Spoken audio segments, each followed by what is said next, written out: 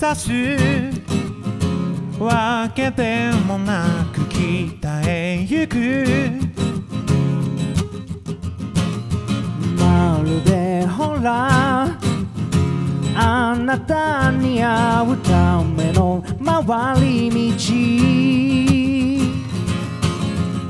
だからね今までしてきた後悔。せる。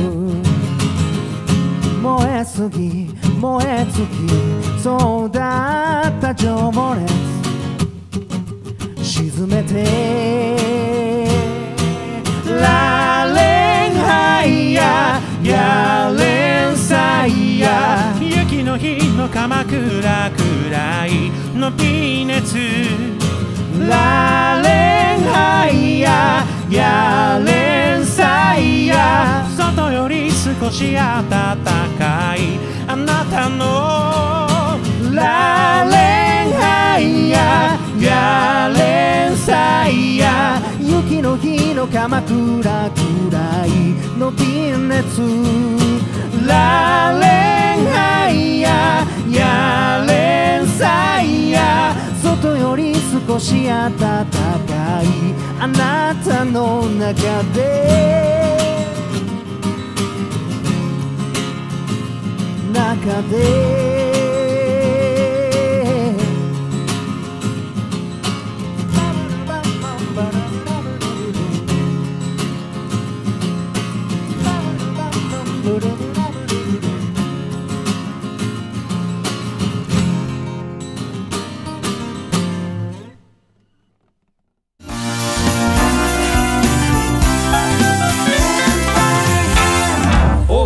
ハンドバイハンドラボ。さあ始まりました。オーガスタハンドバイハンドラボ第2回。松室聖也です。浜端洋平です。さあ無事にうん。第2回目を迎えまして。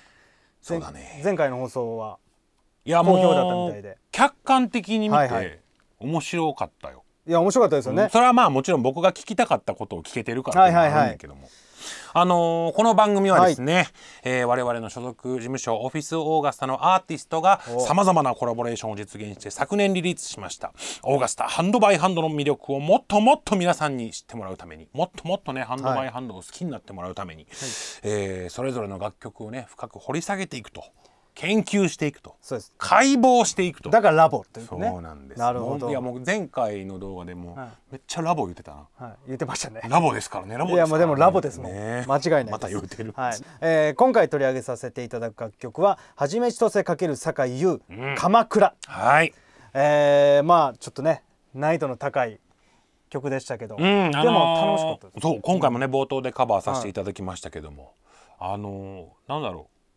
16部あれね16ビートだけども、あの感じがやっぱりちょっとこう心地よいというかね、はいはい。あのー非常にグルーヴ感があって、はい。なんか一番だけだったけど全部歌いたかったなという気持ちね楽しかったですね、えーまあ、この番組はさっきも言ったけど、はい。このその曲を深く掘り下げていくということで、まあ洋平さんと僕がこれこれどういうふうに作ったのとか、この曲に関していろんな疑問とか質問っていうのを、うんうんあの事前にこう考えたんですけどなんと今回ははい、この曲を使えた酒井さんからうん。ビデオメッセージが届いてると。そえの質問に答えてくれる映像があるみたいです。我々が何について話し合うかを、はい。こういくつかピックアップしたあの項目をはい、答えてくださったの、そうなんですよ。2回目にして？2回目にして。もうゲスト来ちゃったの？いやだから今後こういうことがどんどんあるかもしれないです。あ本当に？はい。あらそうですかわかんないですけどね。わかんない全くないかもしれないですけど、今回はありましたんで。どっちなん酒井さんから送っていただいて。はいありがとうございます、見ましょうじゃあねはい。うん、というわけでオーガスタハンドバイハンドラボ第2回お楽しみください。オーガスタハンドバイハンドラボさあ今回取り上げる楽曲ははじめちとせかける酒井優鎌倉でございます。まあ最初に洋井さんこの曲聴いた時うん。どう思われましたか？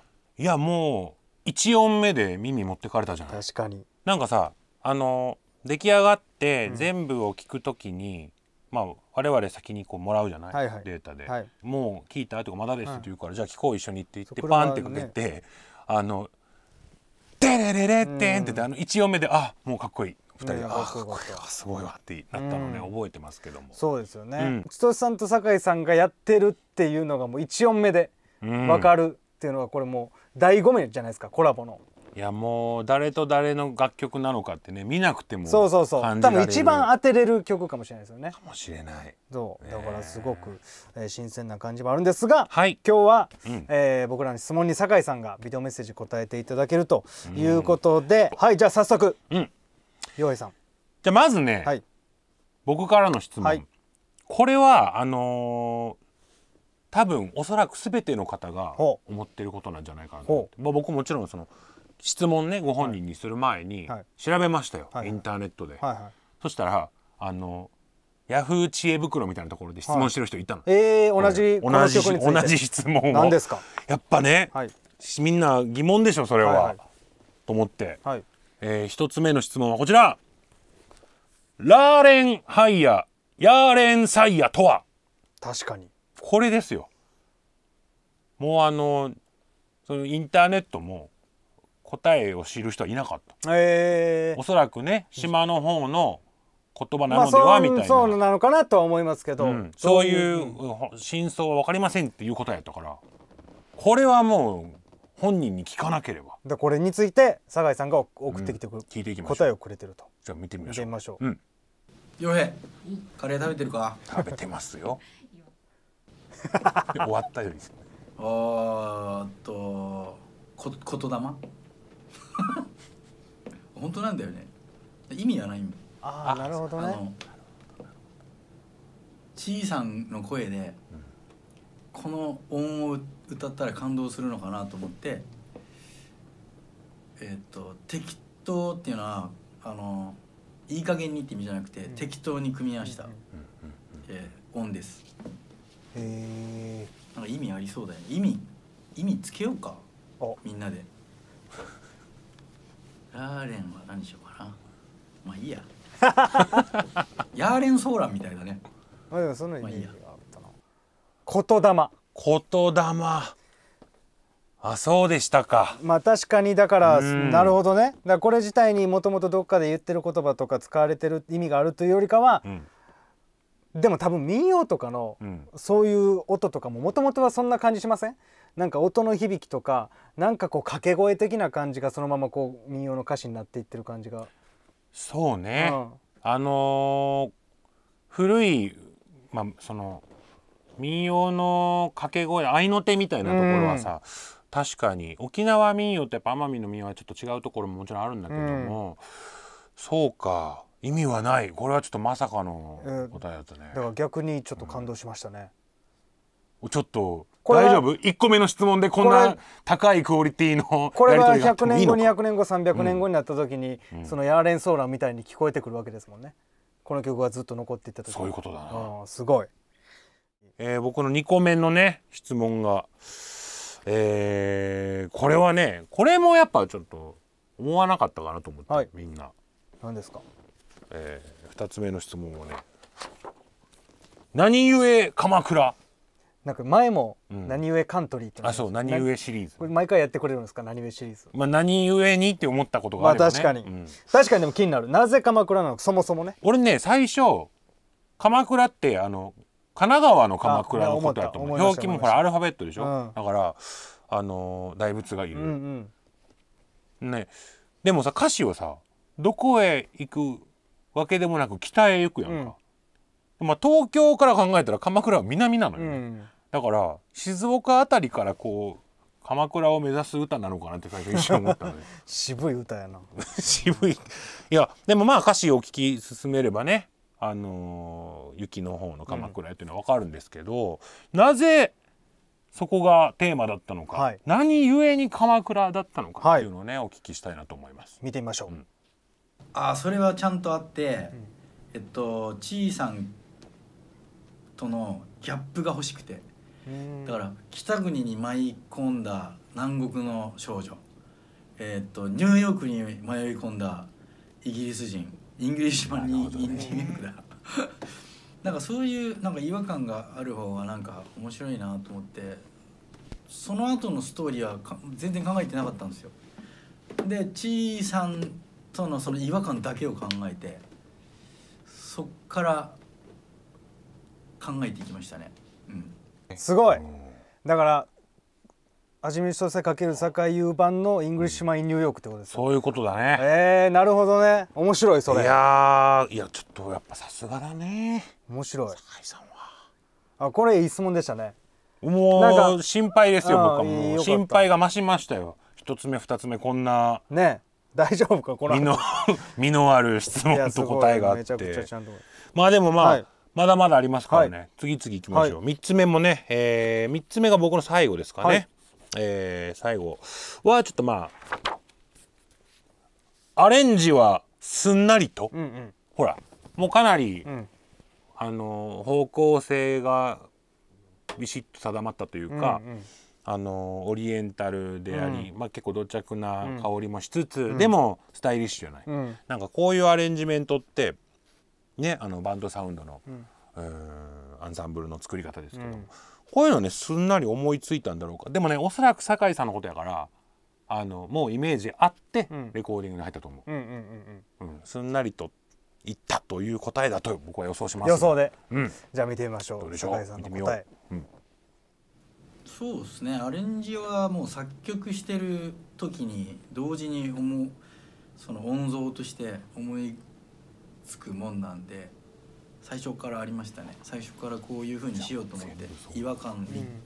とえーっとなんかこうこの世界そその歌の世界がそのどこの国にも属さないようなものってあの音楽で表現できるなんかこう抽象的な世界だと思うんでこんな真面目な感じで言っていいのかな？いいんですそよれめちゃくちゃ気にしてるやん真面目で言ってるのかどうかなんで人ボケせなあかんみたいな空気になってんのよ。もう曲作りの時にもう同時進行で言ってたなるほど。いやこれ、あの答え方だとそのこの曲に限らずゆうさんは全部そんな感じだ、ねまあそうそうそうなんでしょうね多分ね。うん。いやーでもやっぱそうか。あのね我々もカバーした時にイントロのねフレーズ「テレレレテテテレレレレレレレ」あのフレーズもねきっともう曲作りしながら思いついていたんでしょう。だからそうでしょうね、もう最初から。もしかしたら曲のメロディー入る前からもあれが順番にいってる可能性もあるし、なんかイントロからできる時もあるよね、はい曲って。でいいイントロとかイントロのフレーズがある曲はなんか長くライブでも歌いたくなるああ。確かに。イントロいいイントロの曲はねいい曲になる。うん。ライブ映えしますしね、うんさあ岩井さんの3つその質問でございましたが。いやなんかもう本当に聞きたかったことを全て答えていただいて。確かに。同じ質問をね持たれてた方も、ん。なるほどとうん、なったんじゃないでしょうか。うん、うん。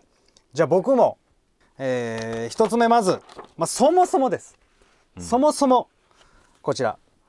コラボ相手に一つさんを選んだ理由は。お。そもそもまずね、うん。これをちょっと聞いてみたいっていうのがあるんで酒井さんの答えお願いします次じゃあ松室さんおいからの質問。松室おい松室。松室。おい。聞こえてる。なんでもないよ。えいくこれで一回終わんのなんなのシンプルに大好きな、えーシンガーさんですからね。うん。あのこ声とこう混ざってみたかったです。うん。なるほどまあ、まあでもそういうことですよね。これはでも常々言われてることですからね。ね。うん。ちいさんの声のもううん。本当ファンだって言ってましたからね。だからあのしあのコラボのなはい最初に誰がコラボするかって聞くじゃないですか、うんうん。ですごい自然でしたよね。そうね。の流れが。あこことここがみたいな驚きというよりは、待ってました感が僕はあったかな。ちょだからちょ改めてちょっとそもそも聞いてみたかったというね、酒井さんはもう一つのあの声のファンで、一緒にこう声に混ざりたかったっていうね、うん素敵ですよね。もう一つ。これがねあこれこれ。ちょっと長いんですけど。日本の伝統的な音楽である民謡と欧米諸国の音楽の親和性についてどう考えていますか？漢字？を これあのすごい感じあこの曲もそうですけど酒井さん民謡をね、ちょっとあのライブでアレンジして歌われたりとか、うんうん。結構やられてて、なんかそこをこうなんかどういう風なあのーこうつながり、あるいはそのアレンジした時にどういう風に際立ってくるのかみたいなのがうん。ちょっと聞きたかったので、どう考えられてるのか？酒井さんはどう捉えられてるのかっていうのを聞いてみたい。親和性とか？親和性。難しい言葉使うね。親和性について酒井さん教えてください。でどう考えていますか？うざいな質問が。絶対言うと思う。松本だよな。松村さんです。大そうだともう一回言って。日本の伝統的音楽である民謡とうん。欧米諸国の音楽うんの親和性についてどう考えていますか？2回目もやっぱり同じぐらいのうざさがあった聞いた感じだと。親和性。いやそれはもうあのー、音えーっと音楽ってほら混ざっていくもんじゃないですか、君の音楽もそうだろ。うえーっと黒人が編み出したジャズと、ビル・エヴァンスはクラシックあの白人でクラシック音楽クラシックピアニストになろうかジャズピアニストになろうか悩んだぐらいのそれがマイルス・デイビスと出会ってなんかすっごいあのアフロキューバンなブラックなグルーブとエヴァンスのあのクラシックのなんかもう湖に葉っぱがこうさってこう落ちてそれの波紋が広がるかのようなね。だから親和性はあると思いますよ、うん、だから松室が正しい。松室が合ってる。松室が好きだもうこう答えんのめんどくさなった時のやつじゃないですか一番最後ないやでもまさに言う通りですよね、うん全ての音楽がこう混ざり合って新しく出来上がっていくもんですから、うんそうそれを改めてちょっと聞いてみたかったっていうのがねあったんですよね俺ね、うんあのーいいちょっと話もちろん、宇多田ヒカルさんのツイッターをね、うんフォローしてんのよ、うんでもうそれは結構もう10年とは言わんけどめっちゃ前やねんけど、うんうん外国の方から、うん。あなたの音楽はすごいいろんなジャンル多岐にわたるジャンルを網羅してますけど、うん。どうやってそういうこう知識とかうん。技術身につけたんですかっていう質問だった英語でね、うんうんうんそしたらもう結構長いツイートだったんやけど、そこに宇多田ヒカルさんは返事をしててリプライをしてて、うんうん。もう一行よ「うん。ミュージックイズミュージックうんだけだったのよ。うん。なるほどね。俺はねすごく感動してね、多分初めて当時まだあの「いいね」じゃなくてうんうんあのフェイバリットだったの、ファボルというのかああファルボルって言ってました。あれをしたよ。あのツイートに。うおーと思っちゃった、まあでもその通りですよね。今でもゆうさんうはん。それとほぼ同じことをいや音楽はそも,、うん。そもそもそういうものだっていうね、うん。いや素敵な回答をいただきました僕。そういう、あのなんか欲しかった回答です。あんなにうざいって言われたのに。いやもうそれも想定してましたから そう言われるのもね、えー。なかなかいろんな話聞かせてもらいましいたね。やあのーゆうさんとはい。飯食ったり、はい。お酒飲んだりして喋るとさ、はい。はい。結構こういう話に行きがちやねんけど、うんうんうん最近はねやっぱなかなか会えてなかったもんですから嬉しいね、久々にうん。そういう真面目な話を。うん、あと単純に顔を見れて嬉しいよ確かに。ね、お元気そうで。うん、いやーちょっと 会えてないですからね。引き続きね、はい。あのーピックアップする楽曲のアーティストの皆さんには、はい。できるだけこうやって登場してもらえたらねはい嬉しいね我い々酒井さんありがとうございました。ありがとうございました。さあということでそろそろお別れの時間でございます。もうですか？もうです。あら2回目洋井さんいかがでしたか？いやこの第1回もかなり面白いと思ったけども、うん。やっぱいいね。これがずっとね、うん。できればいいですね。ラボ感がある。ラボ感ある。ただ我々のその入れたちにラボ感がない でどういうことですか？白衣とか着たい。それずっと言ってますね、うん。で俺もう今回第2回の撮影にあたって、はい。白衣を探しに行ったのも持ってきたろうと思って、まですか？そう。であの見つけたのよ。ドン・キホーテで。でも俺のサイズがなかった。まあ多分ね絶対ないと思多分もうパツンパツ自分で。ンかもう袖もこの辺で終わるみたいな。う綺麗から作らんためですよ多分。自分で作るか。作るじゃないと多分洋平さんに合う白衣はないと思います海外用のを探してこるからですね。ないか。まあちょっと次回までに考えておきます。そ最後ははい。まあ、前回もそうですけど、うん。本日ピックアップした「はじめ一つかける酒井優鎌倉」のスタジオパフォーマンス映像をご覧いただきながらお別れしこれたい。なともいいんだよ。最高です。もうめちゃくちゃいいスタジオでね歌ってる姿最高でぜひねこちらも楽しんでください、楽しんでください。次回もお楽しみに。さようなら。バイバイ。あごめんそっか